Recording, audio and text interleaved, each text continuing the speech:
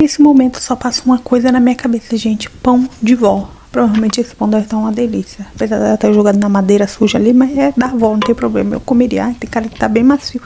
Gente, é pão de vó. Meu, a avó tem uma mão pra fazer pão, qualquer coisa, gente. A avó é abençoada nas mãos. Pombinho doido pra comer, não sei o que que tem ali dentro. Ele tá cutucando com a varinha. Ele deram um, um excesso de pauzinho pra ele. Tentou enfiar a cabeça, não deu certo. Ele voltou pra pegar a varinha pra poder cutucar esse bicho, pra tentar tirar esse bicho. Será que ele vai conseguir tirar esse bicho, gente? Tem que ser muito esperto, gente. Mas eu acho que é um pombo. É um corvo. Não sei, parece um pombo. É um corvo, né? Não sei não, gente. Mas consigo pegar, ó. Comeu. Quem já viu aquele meme da água, gente? Que a mulher chuta e a outra pessoa chuta de volta. Ela chutou. Chutou na cabeça do bicho, o bicho comeu outro. Essa foi boa, gente. Essa daí eu gostei, foi bem feito. Me diga quem é que tem a coragem de usar um sapatinho desse, minha gente. Mas que sapatinho mais feinho, né?